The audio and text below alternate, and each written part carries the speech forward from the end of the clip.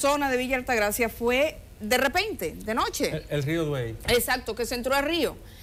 nos están reportando inundaciones en Santiago, eso sí que es relevante, vamos a tener contacto un ratito con Santiago para que podamos ver eh, lo que está ocurriendo. Ya desde anoche se reportaba en algunos sectores.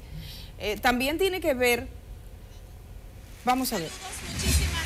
Nosotros nos encontramos en el sector Jorge del Caimito, aquí en Santiago, donde en este preciso momento brigadas de la defensa civil y otros organismos de socorro se han presentado en labores de supervisión y de ayuda a las familias que de algún modo puedan estar atrapadas en sus residencias debido al cúmulo de agua que ha provocado el desborde de una cañada en esta localidad. Como podemos ver, brigadas, miembros de estas brigadas acaban de llegar aquí a este sector para verificar que no se hayan registrado pérdidas humanas. Y es que este es uno de los sectores que sufre inundaciones constantemente. Al caer cualquier lluvia se registran fuertes inundaciones, las viviendas repletas de agua y según las informaciones que nos han suministrado, cerca de 11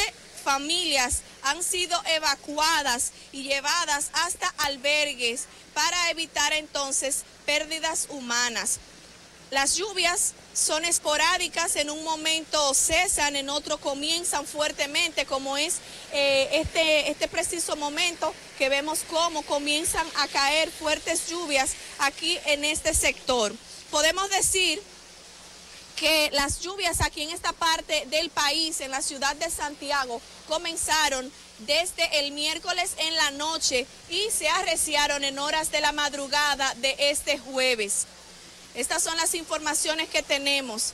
Vemos que hay gente que no quiere salir de sus viviendas por miedo a perder sus ajuares, como en ocasiones ha ocurrido, ya que la cañada se desborda y penetra a las viviendas.